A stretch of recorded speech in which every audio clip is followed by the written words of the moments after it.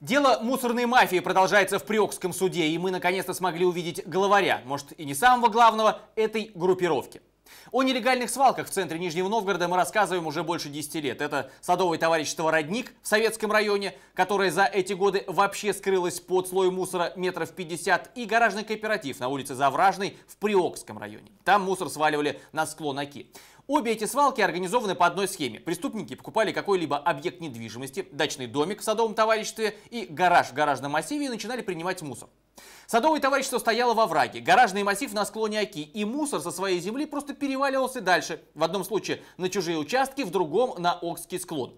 Мусор принимали недорого, гораздо дешевле, чем на официальных мусорных полигонах, и потому клиентов было множество.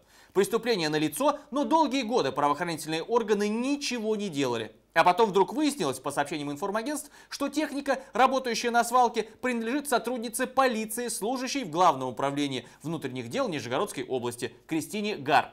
А она сама является гражданской женой Алексея Болтова, который на этих свалках всем заправляет.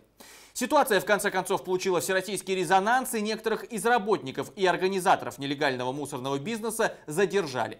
Алексей Болотов был сначала арестован, но приехав сейчас в суд, мы увидели, он на свободе. Алексей, признаете свою вину, что были одним из организаторов несанкционированной свалки?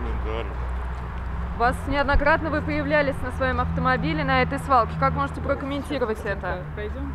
Куда? Можно? Пойдемте. Алексей, скажите, а какую причастность имеет ваша гражданская жена Кристина Гар? Валентин, скажите, признаете свою вину, что были одним из организаторов несанкционированной свалки? У нас без комментариев, девушка. Вы неоднократно там появлялись. Как можете прокомментировать, что вы регулировали сброс мусора, самосвалы, показывали, куда сбрасывать мусор? Как можете прокомментировать это? Сергей, вас на вас были оформлены гаражи, вы вообще в курсе были, что там сваливают мусор, какая деятельность там происходила? Хорошо, спасибо. Всего, всего доброго. Вы сами свою вину признаете?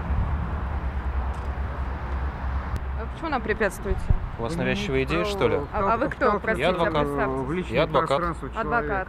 Ну, я задаю вопросы подсудимому. Как видите, Я он не отвечает. Как видите, он не отвечает. Вот на вас были оформлены гаражи. Там сваливался мусор.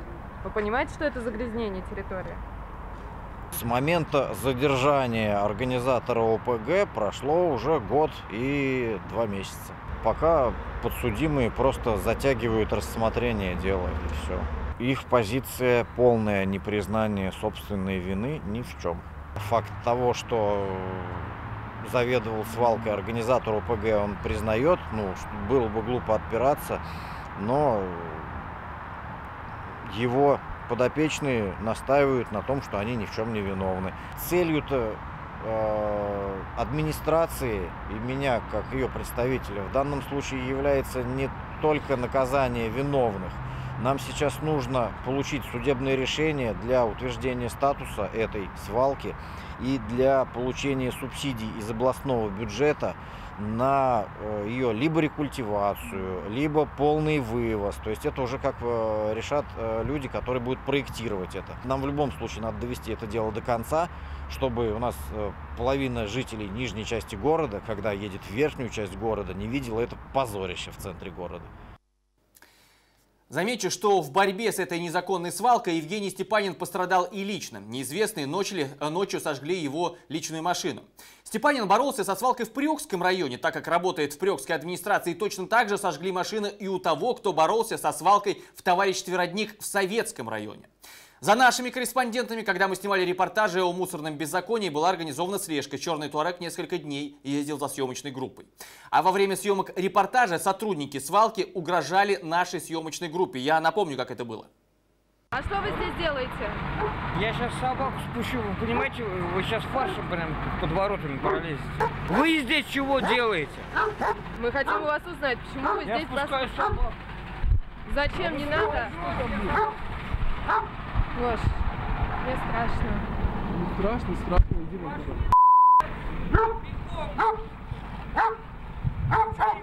Мы сейчас уйдем. Пусти собаку сейчас, правда? Вы правда собрались собаку спускать? А И зачем что, вы... а что будет дальше, вы знаете? Дальше я скину ваш поезд туда на отвал, и вас клюет вагон. Ну, вы выиграли, заигрались, но Дело об угрозах было выделено в отдельное производство. Рассматривалось оно в суде почти год, но подсудимого оправдали, так как корреспондент, по мнению судьи, не сильно испугался. В судебном заседании, в своих объяснениях судебного состояния Коптелов не отрицал факты высказывания в адрес сотрудников телекомпании «ФРАС» о том, что он спустит собаку с привязи, если корреспонденты не покинут территорию свалки.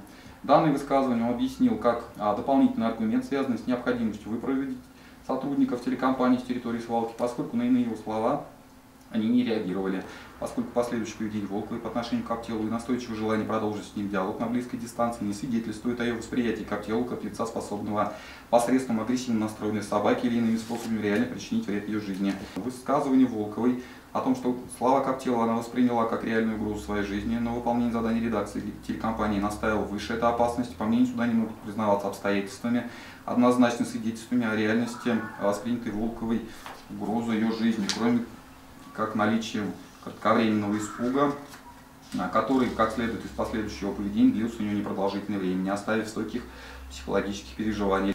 При этом слова а «дальше я скину ваши кости вдоль отвала и вас клюют вороны», а Коптелов произносит в ответ на вопрос Назарова «А что будет дальше?». Эти слова не являются активным подкреплением действий Коптелова, когда он держит собаку за ошейник, а произнесены в ответ на заданный ему вопрос при общении с корреспондентами. Характер произнесения данных слов Коптелов суд расценивает как неумышленное в силу его возбужденного состояния диалога с корреспондентами, явное преувеличение, а гипербола стилистической фигуры речи с усиления выразительности сказанной мысли слов, а, выраженных при отсутствии умысленной угрозы причинения вреда жизни Волковой. Суд приговорил Коптелова Валентина Александровича признать невиновным в совершении преступления, оправдать его по обвинению в совершении указанного преступления до отсутствия деяний состава преступления, меру пресечения в отношении Коптелова в виде подписки о невыезде и надлежащее поведение отменить немедленно в зале суда. Согласны с приговором идти?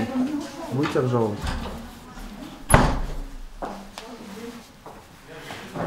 Я очень удивлен решением суда по делу об угрозе жизни и здоровью вашей съемочной компании, потому что вам угрожали открыто, на камеру, все это записано, угрожали вас э, закопать, э, скормить этой собаке и остатки закопать там на свалке. Я все это э, видел в вашей записи.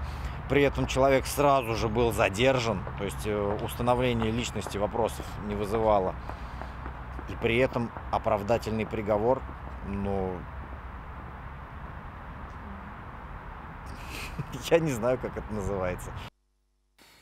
Кстати, по делу об угрозах мы, конечно, будем подавать апелляцию. А вот что касается организации нелегальных свалок, где все эти трое проходят э, подсудимыми, то судят их всего лишь за нелегальную предпринимательскую деятельность. Статья предусматривает в качестве наказания до 5 лет лишения свободы, но это максимум. Минимальное наказание – это всего лишь штраф.